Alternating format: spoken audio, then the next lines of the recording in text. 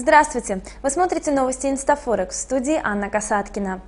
В случае развала еврозоны в наибольшей степени пострадает Германия по причине сокращения ее экспортных возможностей. Такое мнение высказал бывший премьер-министр Италии и президент Еврокомиссии, один из архитекторов евро Романо Проди. За последний год немецкие доходы от экспорта увеличились на 200 миллиардов евро, и половина от этой суммы приходится на экспорт в зону евро, сказал Проди. По этой причине Германия не допустит краха евро, несмотря на то, что именно эта страна, по его словам, генерирует основные страхи не позволяющие проводить единую экономическую политику. По мнению Проди, единая валюта должна быть защищена едиными экономическими инструментами, а также единой экономической политикой. Кроме того, необходимо, чтобы Европейский Центробанк работал по модели Федеральной резервной системы США.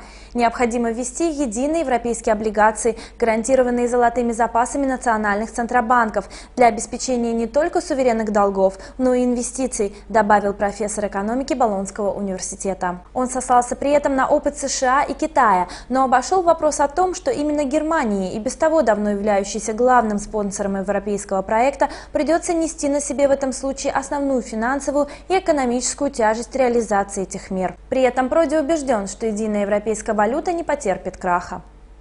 Вы смотрели новости Инстафорекс. До свидания.